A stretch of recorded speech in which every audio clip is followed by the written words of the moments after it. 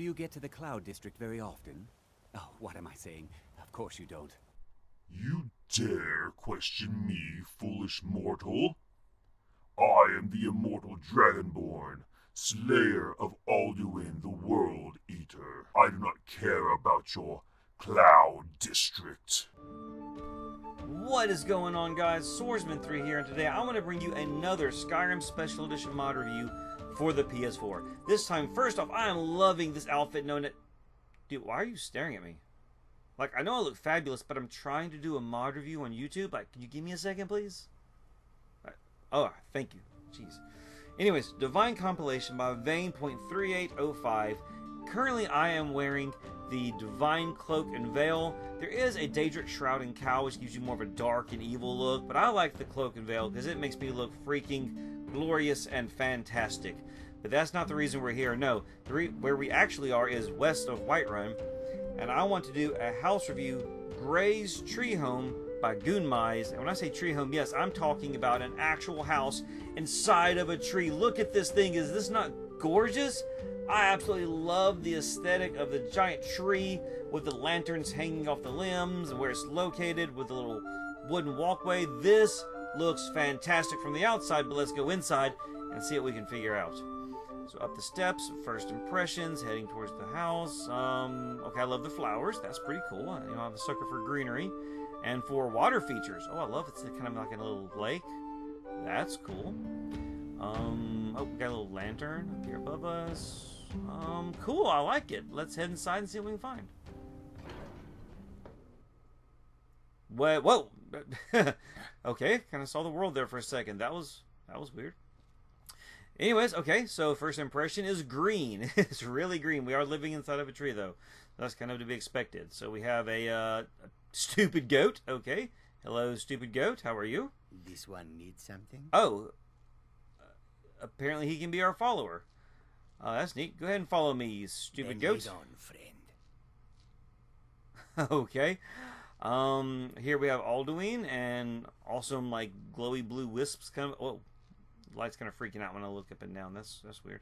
Anyways, blue glowy blue wisp. That's kind of cool. Um, looks like static decorations here that I can't knock over. That's awesome because I'm kind of clumsy.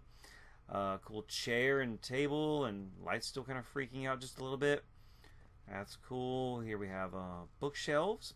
What are our books? Very cool. Is there something behind the bookshelf? No, that'd be a cool place for a weapon rack. I would like to have something like that. That'd be cool. A smelter and a forge. A sky forge. Okay, I like having a sky forge. That's really cool. Uh, what else we got here? Uh, wait, is the door wood? Wasn't it stone on the outside? That's kind of odd. Anyways, let's head upstairs. And here we have a.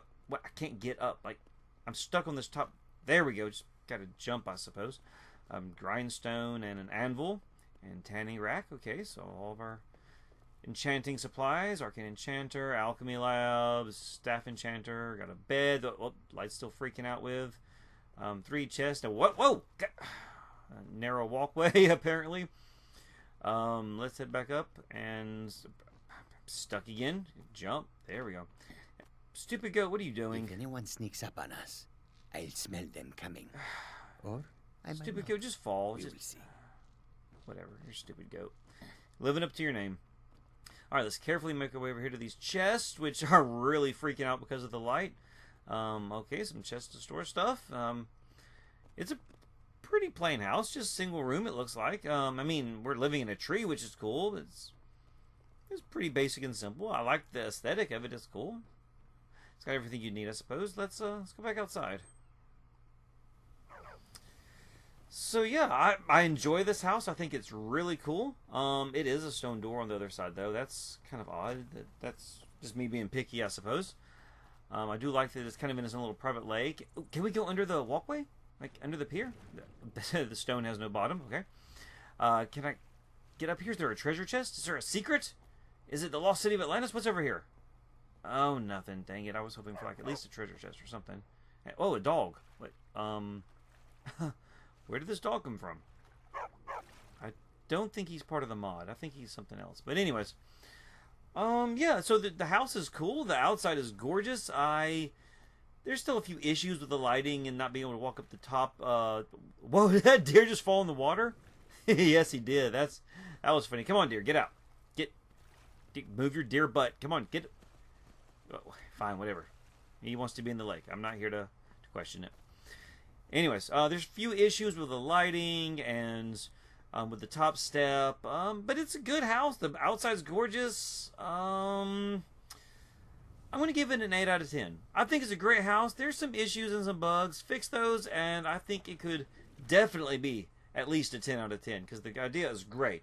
So this is Gray's Tree Home again by Goonmize. I'll link it, uh, link it in the description down below so that you can check it out. It would be great for like a Wood Elf playthrough. That'd be awesome.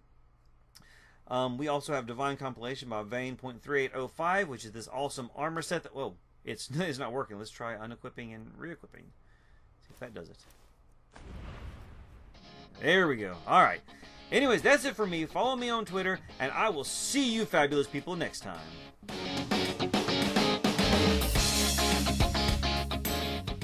Do you get to the Cloud District very often? Oh, what am I saying? Of course you don't. Be careful.